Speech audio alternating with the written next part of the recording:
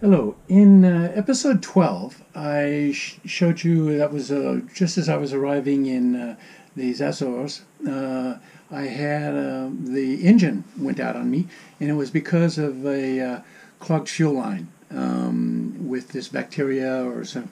Maybe it wasn't bacteria; it may have been just dirt that was in the in the fuel tank that got all shook up during the storm.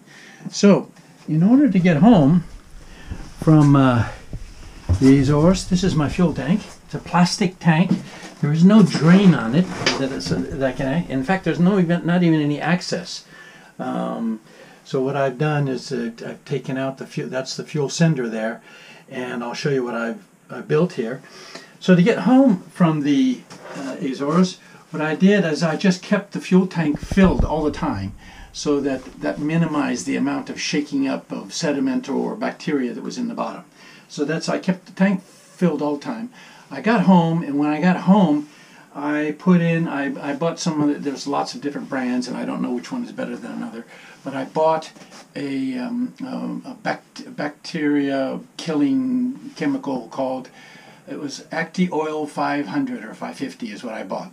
And I put that in, this treatment in, and that's supposed to not only kill the bacteria, but it was, it's, they claim that it's supposed to dissolve it as well so that then it burns out um, through the fuel. But I really wanted to clean my fuel tank, but I couldn't find a service in uh, in uh, in France or in the, at least in the area that I live in La Rochelle, where they do what's called fuel polishing. I couldn't find one, so I decided to build one myself, and I'll just show you what that looks like. And there's no uh, no great intellectual um, activity here. I actually actually copied exactly one, or very very closely to one. Um, I copied one that I saw on the internet, um, and uh, this is what it this is what it looks like. Um, well, let me start start at the beginning. When I show, first showed this to my wife, she said, "Oh, it looks like an Italian espresso maker. That's pretty cool. I hope something good comes out." I have a copper pipe that I just I, I, can move around and I stick it down into the bottom of the fuel tank and I'm going to move it all around to try to suck up as much uh, dirt as I as I possibly can.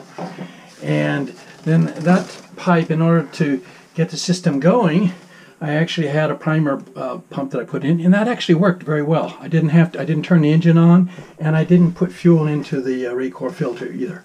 And then I just have a strainer here to catch the really heavy stuff. Then it goes into into a Racor filter. This is the uh, Racor 500 FG filter. Filter. They're quite expensive, by the way. So it both it has a filter, and, and to start with, I'm using a 30 micron filter, and I'll run it for a couple of hours with that, and then after that, I'll put in a 10 micron filter and run it with that. And then it has a centrifugal system in here that's supposed to separate any water that comes out there. Then it goes through a pump. I originally ordered a pump, uh, just a Volkswagen diesel pump, but they sent me the wrong one. So I just went down to the chandlery and paid 50% more and um, bought that one um, instead. And so this pump here has a capacity of 250 liters per hour. Um, the filter has a capacity of 200 maximum capacity they say of 227 liters so i was a little concerned but I figure there's enough inefficiency in the line and all that that uh, hopefully I won't uh, won't overpower the filter um, by doing this. And then this just hooks up to my 12 volt 12 volt battery, and uh, um, that's what I'm that's what I'm running with. Um, so let me show you how it how it works. On. A bit noisy. See it pumping through here.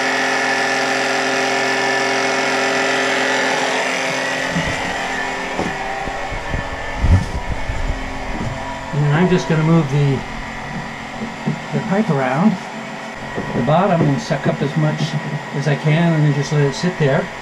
And you can see the, the throughput here, hopefully. You see that's going through at a pretty good speed there. The My tank's capacity is 210 liters. Um, so 210 liters and I've got a, pumps that are working at over 200 liters. So theoretically in an hour it should be uh, what they call polished. So I'll run it for a couple of hours and then put in uh, change the filter to a 10, 10 micron filter, let it run for a couple hours more. And at the end of all that, I'll film for you. Did any water show up? Did any contamination show up in the, in the strainer or in the filter? I'll show it to you. I'll film it. And um, we'll see how this all turns out. So, to be continued.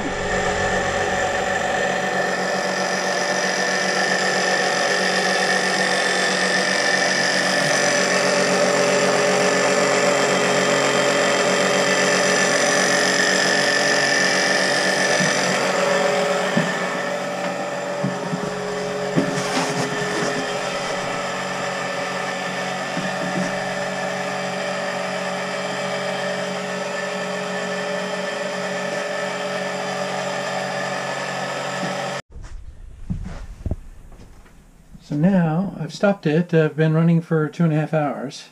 I've stopped it and I'm going to put a 10 mic, uh, micron filter in. I've been running on a 30 micron filter. So the 10 goes in. I'll get that in a second. It's not too dirty, but you can you can see there is some some degree of dirt that went in there. And then the, the pre-filter strainer that I'm going to change now as well you can see there's a level of gunk and dirt and stuff in there as well. But I have to say it's less than I thought. You know, I was expecting I was expecting something quite evil looking. Um, and that's actually pretty good. And the bowl, you can see there's no water in there. Um, it's just uh, just diesel. So that's good news. And I've moved the uh, pickup rod all over the bottom as far as I can, and certainly into the lowest spots.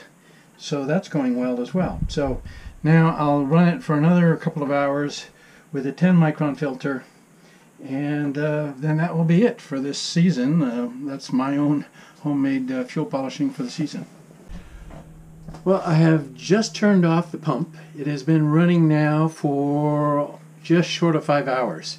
And uh, I put the tank through a 30 uh, micron filter uh, several times and now through a 10 micron filter.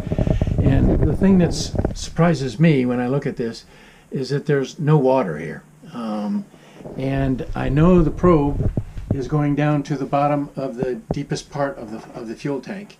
So uh, I don't know how to explain that. I was expecting some water, um, not to see any. Is that a realistic uh, outcome? I don't know. Maybe some of you viewers have uh, have done this before, and uh, I'm just astonished there that this is clean. There's no water in there. Some. So, um, so the tank has been cycled through there at least five times. My tank has my uh, the fuel, all the fuel that's in my tank has gone through a filter now. So um, it's polished.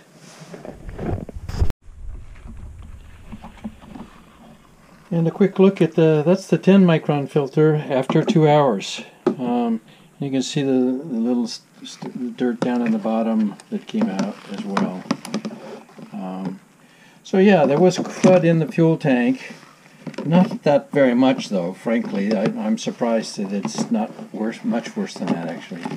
So, um, so it's done. Um, I guess I should have more confidence now that uh, I'm not going to have another problem with uh, uh, contaminated or blocked fuel lines, at least for a while.